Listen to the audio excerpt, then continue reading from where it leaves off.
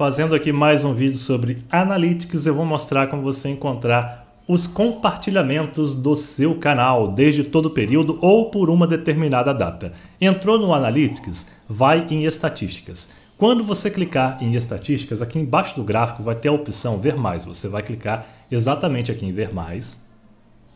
E veja que aqui tem ó, visualizações por data, você vai clicar Mais Métricas. Em mais métricas, você vai, você vai ter esse monte de opções.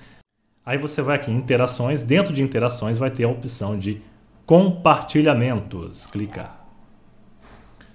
E agora aqui em compartilhamentos você vai ver que temos o gráfico. Veja aqui, ó.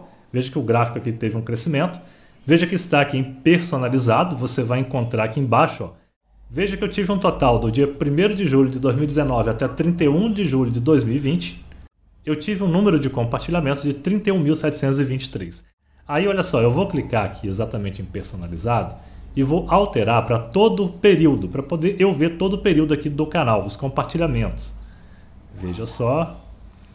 Veja que no total eu tive 53.055 compartilhamentos no canal desde a criação do dia 4 de dezembro de 2015 até 2 de agosto de 2020 aqui no canal. Veja que está faltando algumas métricas, veja que aparece que os dados de compartilhamento não foram rastreados corretamente entre 27 de setembro de 2018 a 3 de outubro de 2018. Então, tem algumas coisas faltando, mas dá para você ter uma noção, dá para você ter uma ideia. E aqui você vai encontrar as visualizações também, tempo de exibição, inscritos, você vai encontrar tudo aqui no seu canal.